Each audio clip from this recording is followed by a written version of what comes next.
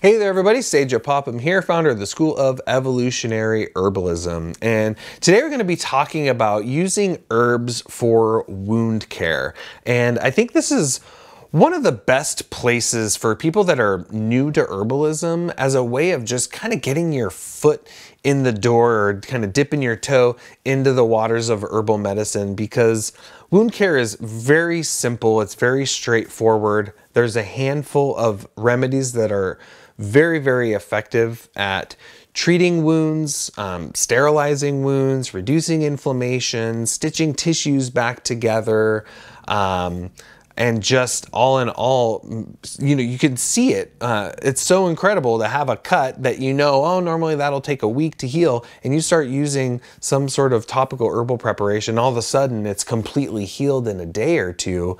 Uh, it's amazing. And so I think herbal wound care is a very important thing for I think everyone to know. I think every household should have some sort of herbal salve or topical herbal preparation that can be used just for managing your little bumps and scrapes and cuts and wounds that we all get uh, every now and then. And or every day if you uh, live out on land and are working in a garden and you know active and doing things you know it's real common for stuff like that to happen. And i think this is something that we can very easily safely and effectively treat ourselves at home um, with some very simple safe and gentle but powerful herbs. So so uh, this uh, uh, video is going to go into some of my favorite remedies for herbal wound care um, if you have not subscribed or liked, be sure to hit those buttons here if you're watching this on YouTube or listening to the podcast. Be sure to like and subscribe. It really does support the channel and helps us able to continue to offer uh, free educational resources to all of you. So um, thank you so much for that. If you aren't watching this over at the blog, be sure to head on over and check out the full post at evolutionaryherbalism.com slash blog. And um, with that, let's dig into some discussion on herbal wound care. Okay, question number three from Jennifer Hendricks in Materia Medica Monthly. Okay, we are asking a question about uh, wound care. So there's a handful of questions here. I'm just going to read the whole thing and then we'll go into each one individually. So, which herbs are used for open and closed external wounds. Open wounds as in bloody, and closed wounds as in no more bleeding, but could open easily if not careful. Um, I searched but couldn't find much except for a horsetail formula. Um, I've heard you state that you can't use beeswax in healing salves. Does that also count for open wounds, as beeswax could protect the wound from dirt and infection, I would think? Marshmallow, you stated that this will prevent the wound from drying out. Isn't that what you want so the wound can heal faster?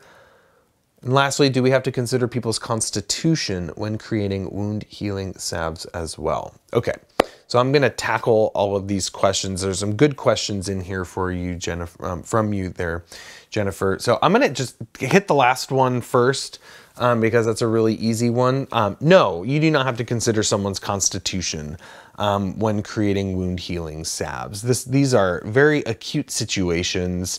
Um, you are applying it topically to a localized area. The only time, like to be perfectly honest, the only time you really have to worry about someone's constitution when it comes to administering herbal medicines is if you're giving them for a very prolonged period of time, right? You are treating something chronic, you're giving them a formula in, you know, perhaps larger doses more frequently for prolonged periods of time.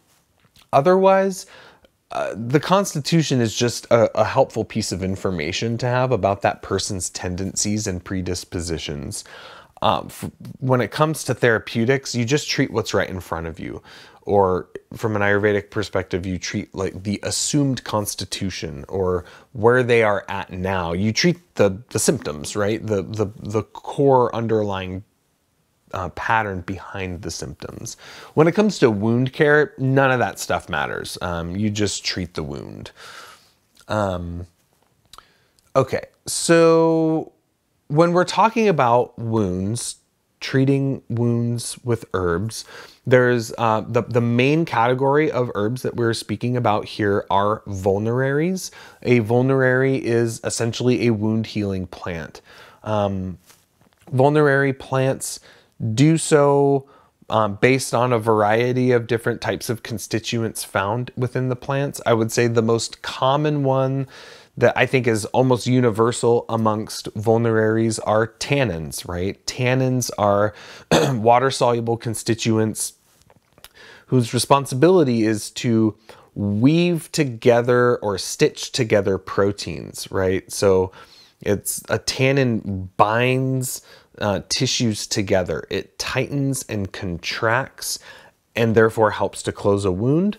Um, this also helps to slow bleeding down and um, oftentimes they will have an inflammation modulating property as well. And of course, wounds are inflamed. Um, that's the job of the immune system is to inflame that area, um, to keep it clean, to uh, promote healing, right? I mean, that's ultimately inflammation is the body's natural healing mechanism. Uh, it's just when it gets out of control that it's uh, not so good anymore.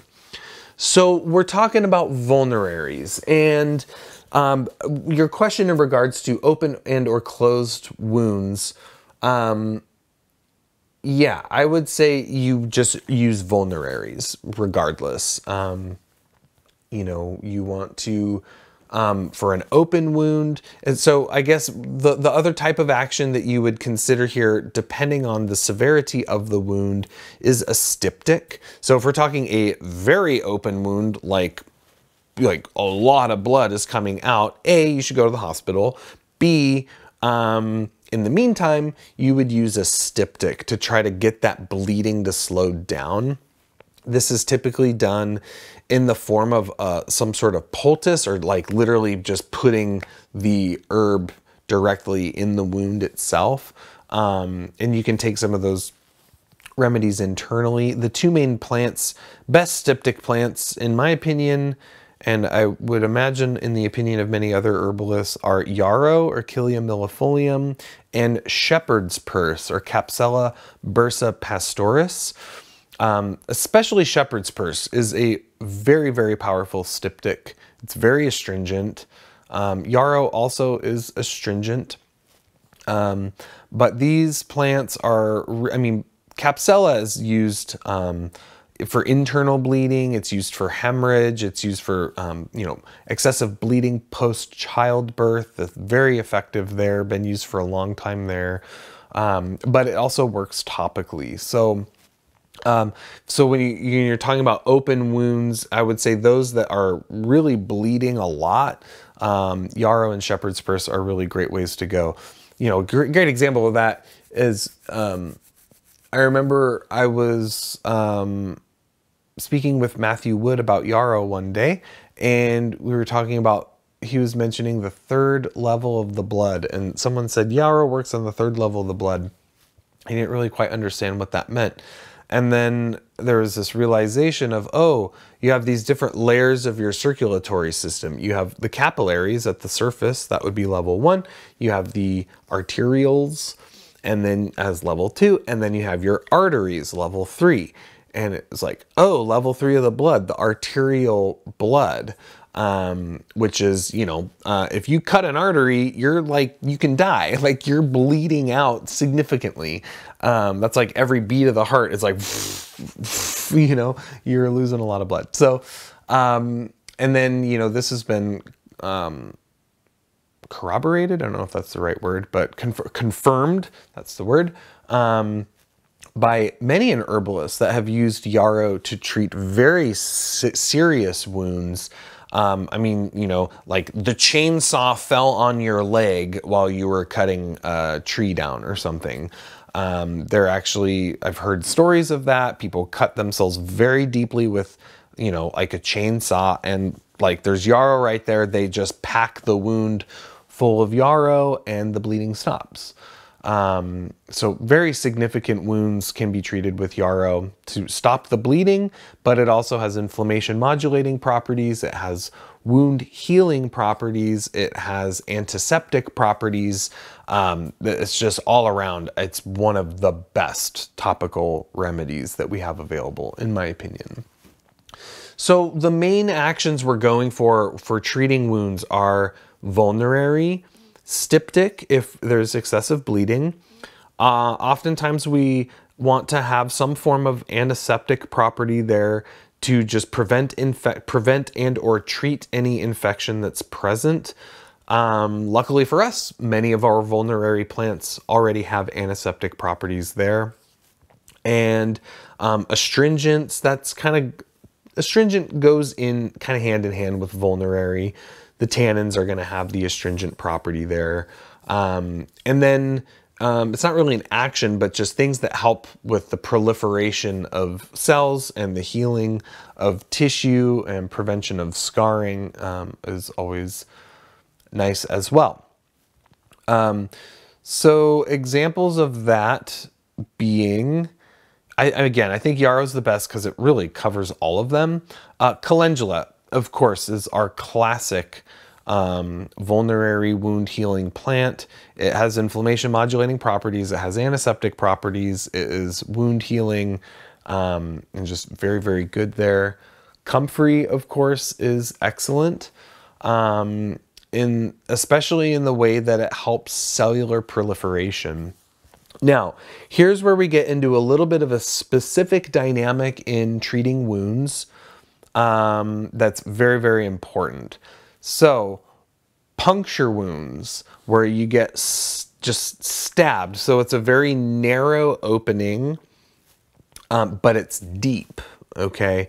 Puncture wounds are treated differently because, um, specifically because, uh, in regards to comfrey, right? I mean, a lot of herbalists are taught, you know, comfrey for wounds, comfrey for wounds, comfrey for wounds. But sometimes they forget the little asterisk, except puncture wounds, because comfrey is so good at healing tissue. It's so good at cellular proliferation that it'll actually close the top part of the wound first and trap whatever's on the inside on the inside and that can um, make it much more likely to get an abscess um, and to trap infection there. So don't ever use comfrey for puncture wounds. Puncture wounds specifically are treated by St. John's wort. It is um, one of the specific indications for St. John's wort. That is the herb to use for them. Um, it has St. John's wort heals kind of from the from the ground up, so to speak, like from the deeper layers of the of this of the dermis all the way up to the surface. Comfrey kind of does it the opposite. It kind of is more of a top-down approach, so it heals the, the top part first. So St. John's wort, very specific there.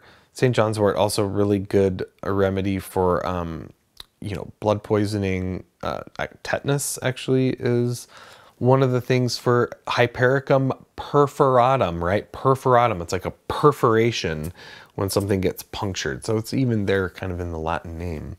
Um, yes, so St. John's wort is very good there. Um, plantain is probably one of my favorites. So this is where also demulcent, the demulcent property comes into play, which was going to tie into your um, question about marshmallow. So a demulcent can be helpful um, for topical application on the skin specifically if the if everything's really really dry.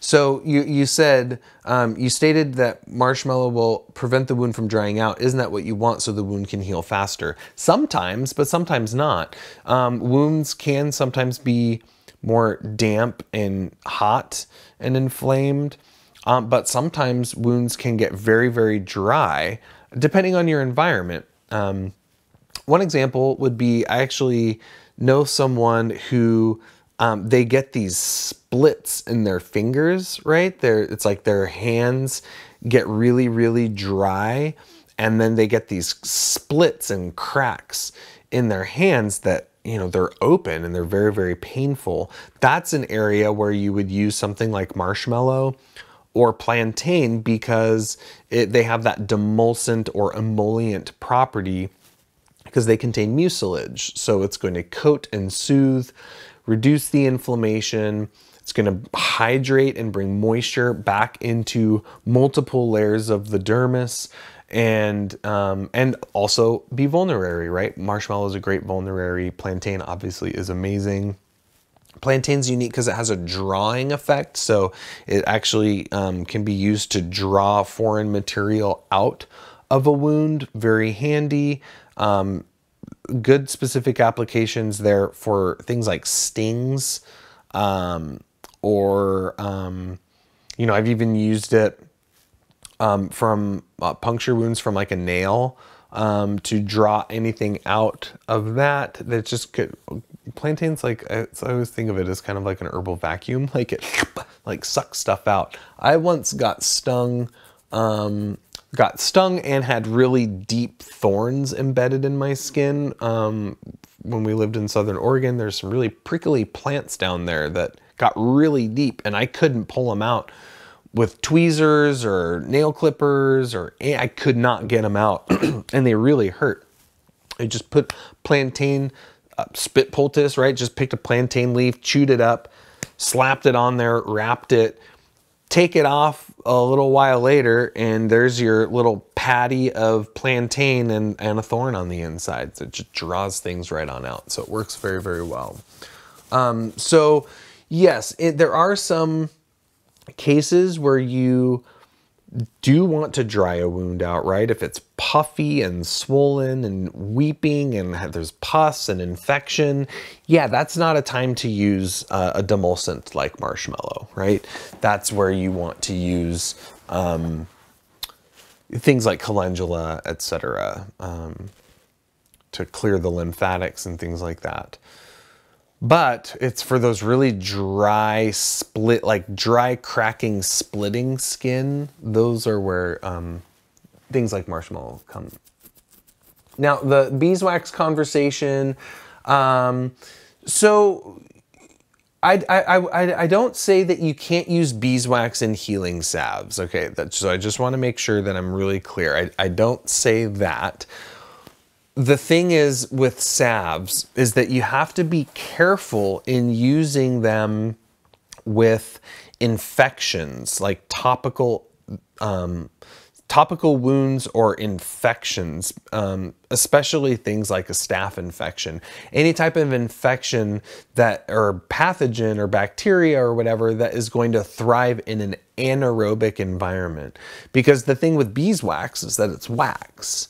And so if you've got a super waxy salve and you put, cover a, an infected wound with it, um, and the surrounding area, you're creating an anaerobic environment where that anaerobic bacteria is going to thrive. Um, I remember Paul Bergner told a story of someone that had a really bad staph infection on their face, and they had put a salve on it and around in the surrounding area, and they woke up the next day and the infection had spread exactly to the area where they had applied that salve. And so I'm not, I don't say that you can't use salves topically for healing wounds. That's not true. You can for sure. Uh, you just, there, there comes a level in wound care where a salve is, is inappropriate. And that's where you want to shift more into uh, washes, poultices, um, basically water based extracts. You could use oils. Um, but water-based extracts I think are the way to go, specifically washes, soaks, poultices, things like that. For your basic, you know, scraped knee or, um, you know, little cuts and little, you know, the cracked hands from working in the garden and stuff like that, salves are totally fine for things like that. Um, so I just want to make sure that part is communicated very clearly. Um, and yeah, beeswax, um, it can protect the wound from dirt and infection, I would say, um, but it can also trap it in, right? So I this is why, you know, when it comes to wound care, cleaning it is the first step, right? You got to just get all foreign debris out, dirt, um, all that stuff. You got to get the, the wound very clean and then very dry, and then you would, apply your medicinal agent to it. So, really good questions in here, Jennifer. Um, I think this is one of the areas of herbalism that everyone should know about, right? Like everyone should know about calendula and plantain and comfrey. I think every home should have a simple uh, wound healing salve in their home medical kit, and um, and this is just it's it's one of the most simple introductions to herbalism. I think um, that's very accessible for most people, and and boy, you can um, avoid using you know things like triple antibiotic ointment or neosporin and things like that um, where because these herbs um, do so much more um, to support the body in the wound healing process. So, yeah, really great question. I hope that helped clarify um, vulneraries and these types of plants for you.